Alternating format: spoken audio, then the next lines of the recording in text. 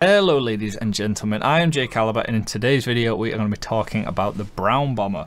After my Dream Unusual video that came out last Wednesday, I've been playing around the idea of getting one of these bad boys in unusual format for some time now, but before firing the gun on a purchase, I thought I'd do some digging into the hat and you know, do my due diligence on it, just so you know I know what I'm buying before I buy it. The Brown Bomber is an all-class hat, that's all-class, all nine of them, and it was added to the game as part of the Smithmas 2011 update and was added to the game on the 15th of December 2011. This update was known as the Australian Christmas, which was a golden time for TF2 as it was the same update period where we got the first festive weapons in the Naughty Crate and the best winter cosmetic crate arguably of all time. I love it. And it even came, we even got the Pomson and the Phlogistonator, It was all same update. You originally could only get the hat by opening a nice winter crate with a nice winter crate key. These crates have not been openable now since January 1st, 2012, making the time period to actually get one of these hats by opening one of these crates pretty small. This this only gave you the hat in unique form as well. There was no strangers back then or anything. It was just the unique version. And it was the best cosmetic crate ever. I'm not even joking. Valve made the hat a potential drop cosmetic, which I myself, you know, have had twice now in the drops. But when Valve made this a drop item, I, I couldn't find. Uh, it's it's unknown when they actually made it a drop item. I I don't know really.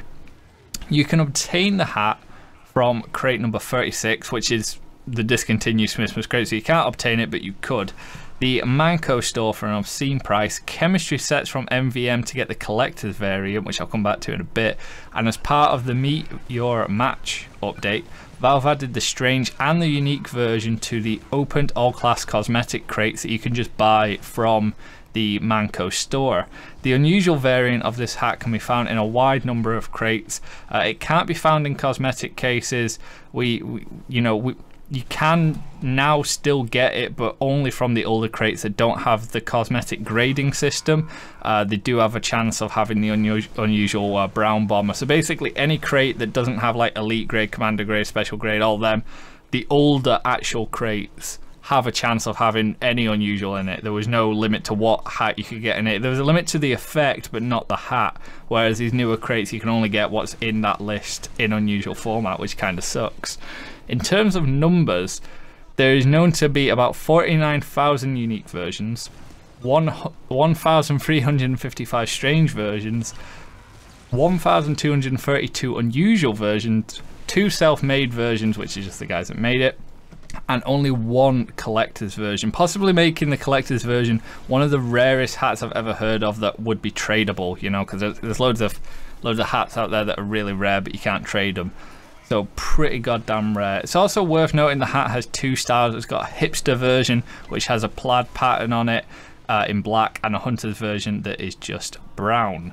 The hat was made by two guys. It was made by a guy called The Ronin, who is responsible for most of the Invasion update models and the maps uh, in TF2 and TF2 cosmetics for that update, including um, the map Invasion itself and Probed uh, that are actually in the game still, and Psyche, who has also contributed many TF2 hats to the game, which have been accepted, including the famous chicken Kiev, the, the bird face for the heavy, and the Kringler, arguably my favourite winter themed jacket for the soldier.